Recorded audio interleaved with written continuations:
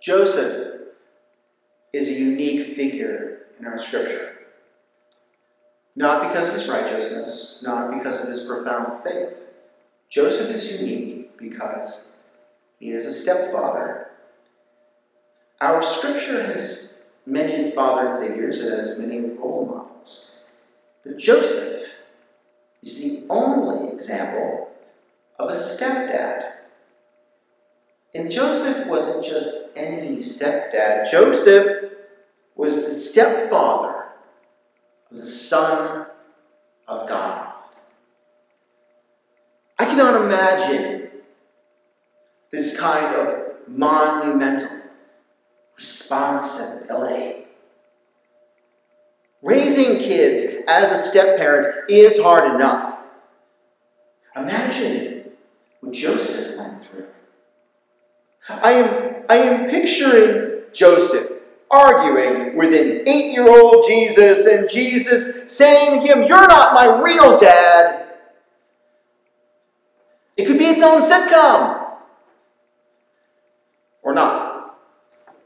Joking aside, I, I want you to imagine for a second our gospel message and imagine it as something that is happening today.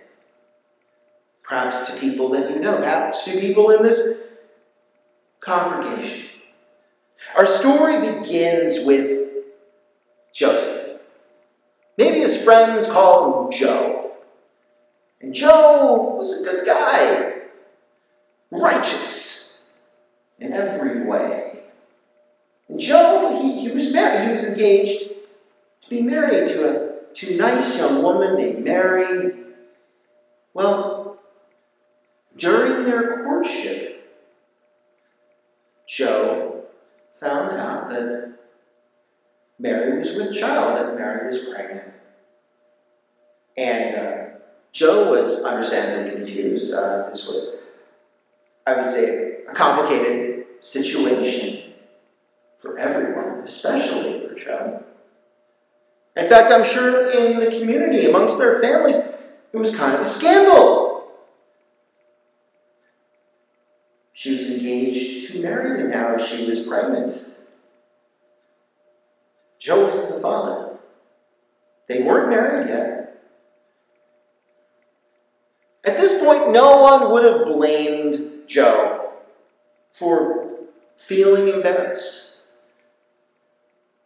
And likewise, Joe you know, he could have broken off the engagement, just quietly moved on.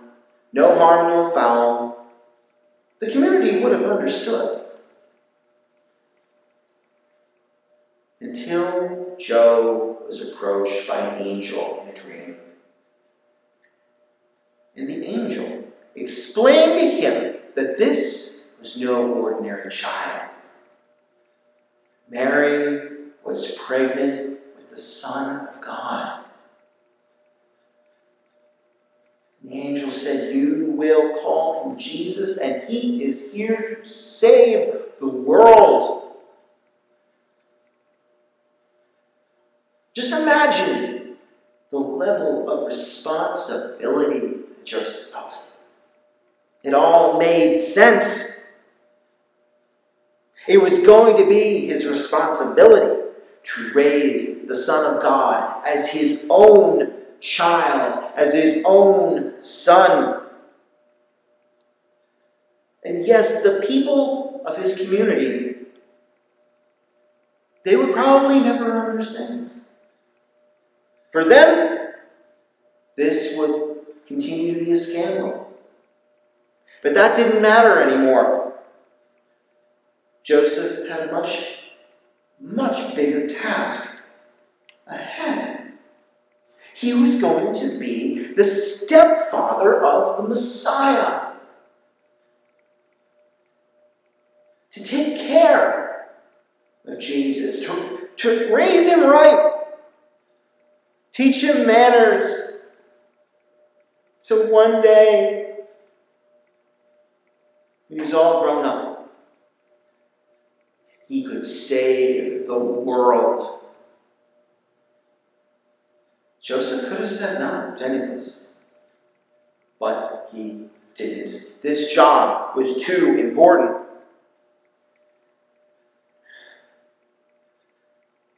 You know, throughout my life, I've known a lot, a lot of stepfathers. And I gotta say, they do have a job that is essential. It can almost be an impossible job with how often it seems to go unappreciated. And, and how do you fill someone else's shoes like that? Someone else to, to be this surrogate father figure, the surrogate father. You know, our, you know, our popular media, it doesn't help.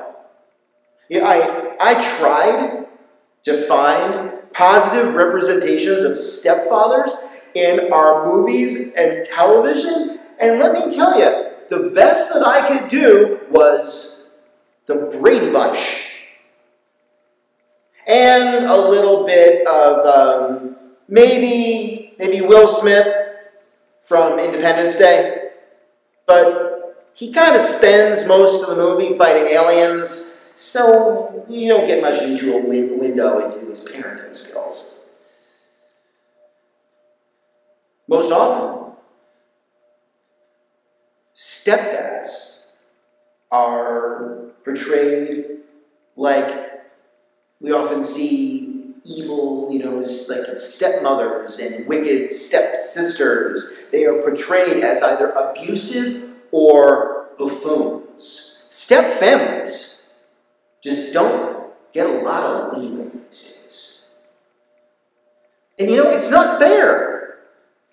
It's not fair. I'm going to be a stepdad, and I take this personally. Which is why I love Joseph so much. You know, when you think about it, you know, when you think about it, like home, even Jesus' home had all of the elements of a modern family. There he was, you know, he lived with his mom and his stepdad, and um, it was unique because you could say that Jesus even had three parents. If, uh, if, you, if, you count, if you count God, which we should. And in addition to, to this triad, we also had Jesus' uh, many half brothers and half sisters. And yes, Jesus had siblings. Our scripture is very, it is pretty clear on that. And this kind of non traditional family that Jesus lived in, it really it's it's the rule, it's not the exception. Every family that I know has a unique flavor to it. Every family that I know has all of those quirky elements. I mean, all these. I mean, that's what that's what my family is like. There's no such thing as a normal family. We're all unique in our own cool and quirky ways. Even Jesus' family, he really had the original modern family. And in addition to all this, I love Joseph because he is a symbol of every caretaker that I know, every teacher, every mentor, every counselor, every surrogate parent that I know. You know, kind of makes me think of Joseph lifting up that mantle to take care of this kid. And in fact, for me, it even redefines what it means to be part of God's family. And there's a lot of redefinition going on these days.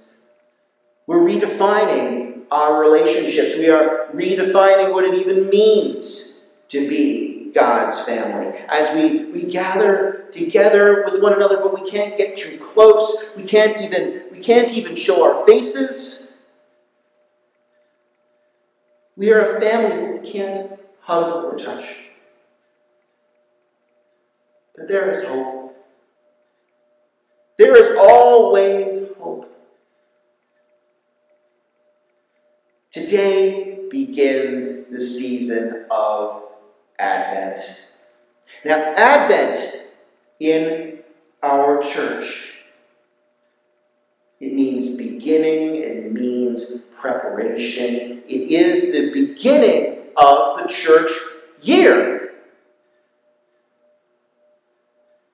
And with this comes newness and revival and an opportunity to embrace new beginnings and be brave. To be brave, to rejoice, to be glad, to take on what's in front of us, even when we don't know what tomorrow will bring. We know that God is with us and God will lead the way and take care of us no matter what happens, just like Joseph when he answered God's call. He didn't know what was going to happen next. And neither do we. We never do, really. But you know that new beginning? It's, it's arrived. It's here. In fact, it's always arriving, that newness. It's just to find that arrival and to grab onto it. A new beginning for you, for me, for Joseph, all of us. As we prepare for Christmas in this brave new world, to look at our world, to answer God's complicated call, and say yes as a family.